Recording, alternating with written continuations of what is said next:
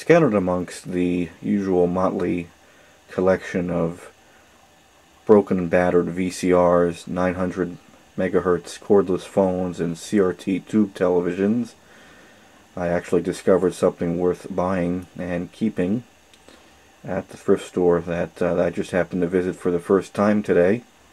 Unfortunately, it seems that uh, clock radios with a mechanical analog movement have gone the way of the dodo. You'd be probably better off finding um, a new cassette player in a brand new vehicle from any of the major automakers than you would finding an alarm clock with a mechanical movement, fully analog.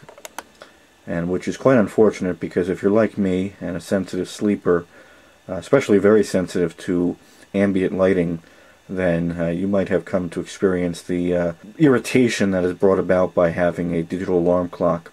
And all of, of all those alarm clocks I've tried that offer variable brightness or whatever they the manufacturer feels like calling it when they're making that and designing the product, I just can never get them to be dim enough. So it came as a great surprise to me when I was looking around and for nothing in particular today. Again, seeing some 900 megahertz cordless phones, CRT tube TVs, compact disc changers, a bumper crop of compact disc changers actually, and some other loose odds and ends. This was actually being obscured by a broken and uh, dare I even say beaten 1990s electronic type or electric typewriter.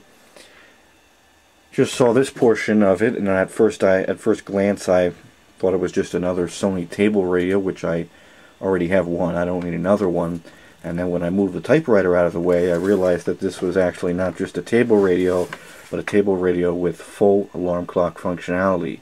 What will come as a greater surprise than this uh, item being found in working condition if you happen to notice the second hand moving right now.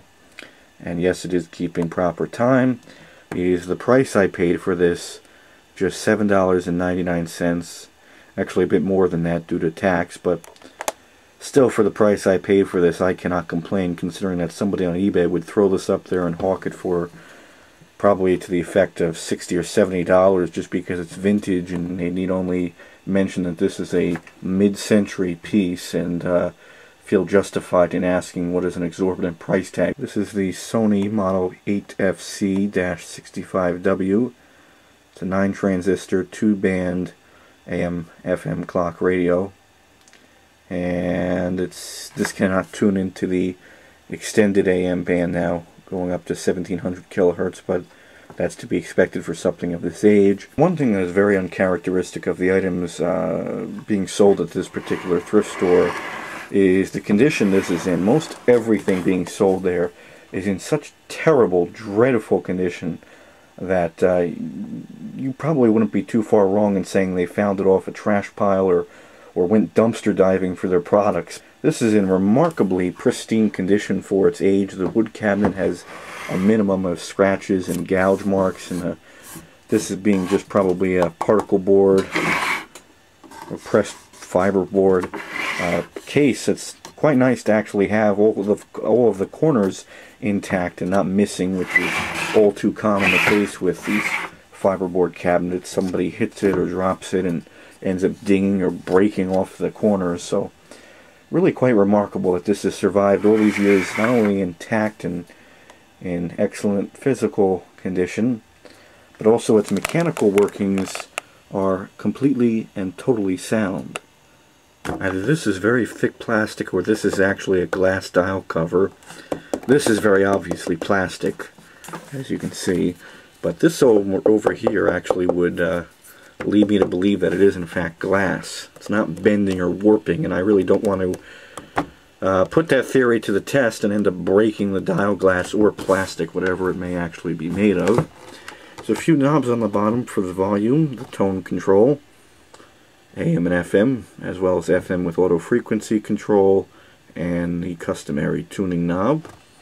Tuning indicator here with the tuning dial, which is actually calibrated and in alignment, which is quite nice. I don't have to take this thing apart and adjust the dial string and dial needle because usually these things end up falling so far out of whack It's after flipping the alarm clock on its side that we learn of something you won't see anywhere else on any modern day alarm clock. A speaker of appropriate size for reasonable audio fidelity. That speaker is approximately three and a half inches in size. Yes, you heard me right, three and a half inches in size. If I dim the lights here, and have to go over this switch here, with all the lights in the room currently extinguished, you can actually see just how dim that dial light is. But the camera does it justice in representing it accurately.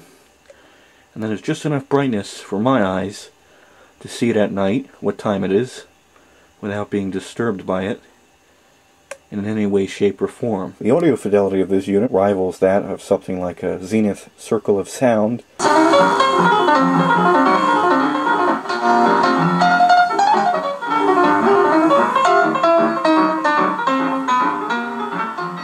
That's quite peculiar and very unusual in this area.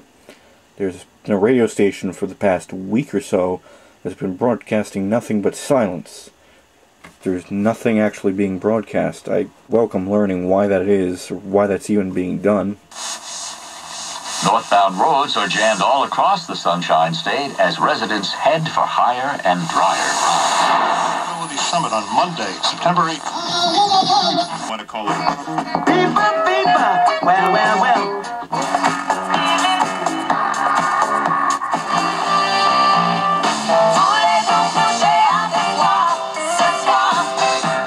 There's an age-appropriate song for this alarm clock.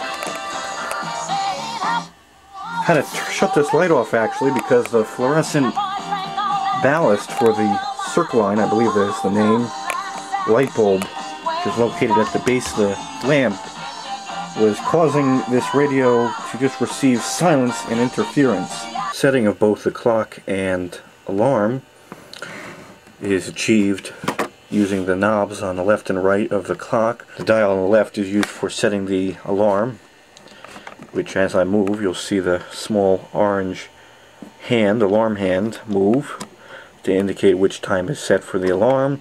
And to set the time you use the knob on the right to move the clock accordingly. Although it takes a great deal of effort and time to make major adjustments to the clock if this has been unplugged for a long time.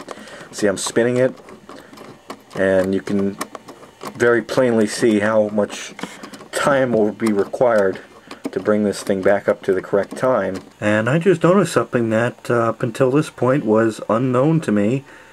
I was always looking at this radio face down, if you could describe it as such, and the dial was actually preventing me from seeing the last position, which is radio alarm. I didn't even know that was an option. I thought you could only wake to the radio and nothing else, but I stand corrected. I also neglected to mention that there is a sleep functionality actuated just by moving this inner knob to the time, length of time you wish for the radio to play before turning itself off automatically. Something else that has been forgotten with the sands of time. Set this to radio alarm, actually auto radio, which will play both the radio and the buzzer, or it should, unless the buzzer isn't working. And now move this.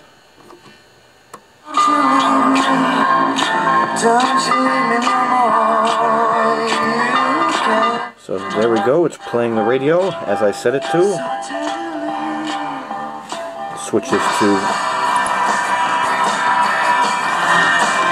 And I don't hear anything. Well, let's turn that off and try it again. Well, with the volume turned down, I'm not hearing anything approaching a buzzer or a beeper. If that's the only thing that isn't working on this alarm clock, given its age and the tendencies of analog clocks to fail with time, be inclined to say I seized an excellent deal. They're going through a tough time right now. Nellie Bell for her kids, Katie, Maria, and Andy. Just She's be realized, I just had the mom that she can. realization that the bulb providing illumination of the clock dial is actually a neon bulb located right at the top of the clock. See this transparent plastic surrounding the clock allows the light in. Very good audio fidelity. Song for you.